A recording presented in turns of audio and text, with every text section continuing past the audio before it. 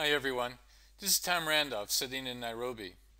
I want to welcome you on behalf of the Livestock and Fish CRP management team to our virtual review and planning meeting. We're as disappointed as you are to have had to cancel the face-to-face -face meeting in Naivasha this week. But let's view it as an opportunity. Let's see if this is as effective virtually and perhaps we can reduce the transaction costs that we all complain about. We certainly still have to have a meeting. We're at a critical crossroads within the program. We've just completed the first three years, and we've been given an extra two years to continue some of those activities, and so we need to finish them off well. At the same time, we have to start thinking about what do we want to be doing in the next phase that begins in 2017. As we prepare for our discussions, let's remind ourselves the ambitious agenda we had set for our program. The Livestock and Fish CRP was designed as a three-year program, but with an horizon of 12 years. The overarching objective is the main question of food security in 2050. Will the poor still have animal source food on their plate in 2050?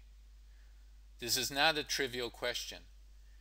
We know that on the cost side, there will be increasing pressure on food, on feed resources, which will increase prices. On the demand side, rapidly increasing middle classes and rising incomes will translate into higher prices. Will this crowd out the ability of the poor to be able to have access to animal source food for a nutritious diet? At the same time, we said that this was a win-win, that if we could harness the production and increased productivity in low-income farm families and value chain actors, we would, they would be able to contribute to that increased supply and in the process gain from it. So we said that we were going to generate good science and show how smallholder and small-scale based systems and value chains could be more productive, could be more efficient, and more profitable and be sustainable and inclusive in the process.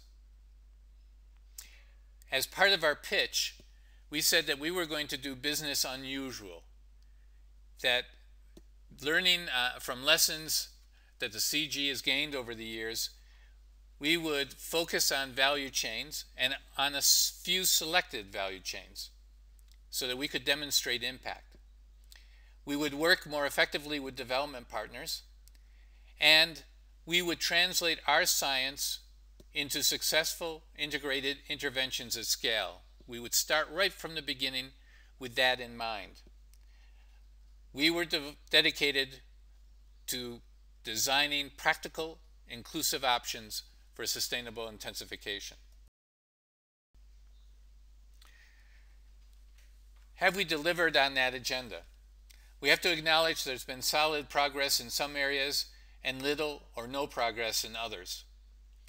So far, the feedback we've had from various evaluations that are ongoing or just completed, especially the CRP Commission external evaluation on our value chain approach, have been generally positive and certainly constructive.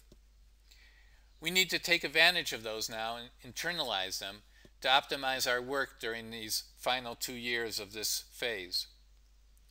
Then looking to the future, to 2017 and beyond, we need to start taking into account what has changed, not only in terms of the external environment and all the trends that are going on outside there, but also, as we all know, the, the changing, ever-changing context and expectations within the CGIAR. Are there new directions that we want to begin to promote and to propose from our supply side perspective. Let's use that to shape some proposals that we can start sharing with our stakeholders during the consultations that we expect to organize over the, the rest of this year. And that way we'll get their demand side input as well. So please, I encourage you to participate and more especially to really engage. We really need your input to be able to shape this so that we all own the program. Please, let's be good scientists, let's challenge our assumptions, and let's look for opportunities to innovate. I hope you enjoyed this format. Good luck, and I'm looking forward to the discussions.